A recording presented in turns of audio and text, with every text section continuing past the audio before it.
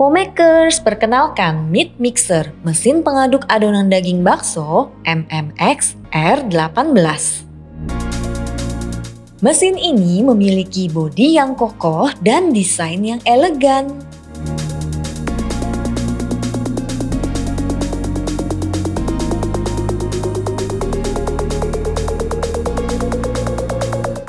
Terdapat dua lapis bowl Bagian luar bowl adalah tempat untuk meletakkan es batu.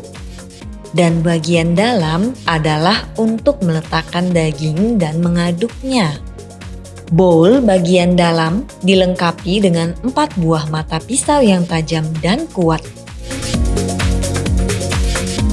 Bagian depan mesin dilengkapi dengan keran untuk memudahkan pembuangan air es batu. Mesin ini juga mudah untuk dibersihkan. Cukup mengangkat pisau dan mengeluarkan pisau dari bowl. Putar baut pada bagian dalam bowl dan lepaskan. Buka ketiga baut pada bagian luar untuk melepas bowl. Angkat bowl ke arah atas dan bowl bisa dibersihkan seperti biasa.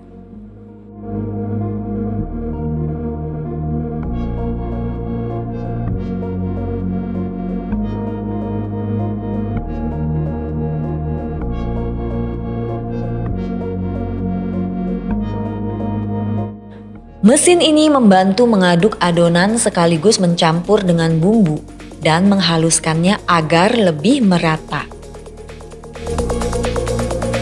Meat mixer akan menghasilkan adonan yang lembut dan lebih kenyal.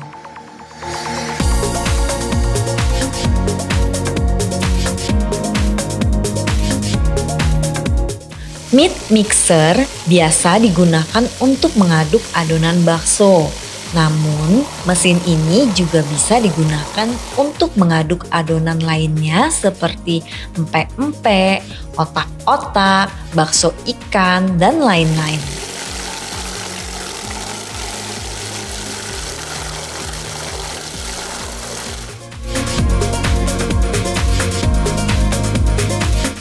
Tuh kan, karena menggunakan meat mixer MMX R18, adonannya jadi teraduk dengan merata.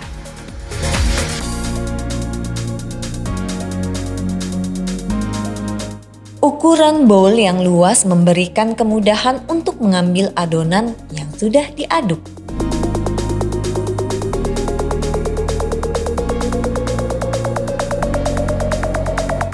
Oh ya, makers, untuk mencetak pentol bakso dengan lebih cepat, mudah, dan simetris, bisa menggunakan mesin pencetak pentol bakso Fomek MBM R280. Untuk kecepatan dan hasilnya bisa tunggu di video selanjutnya ya.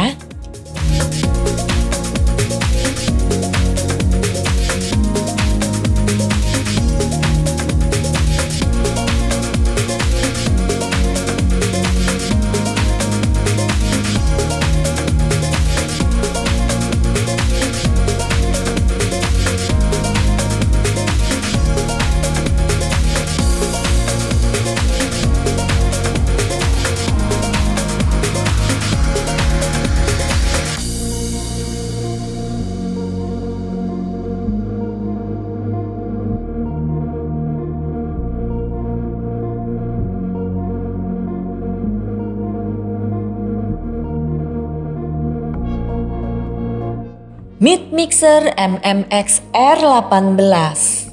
Jadi bangga kan pakai Fomek?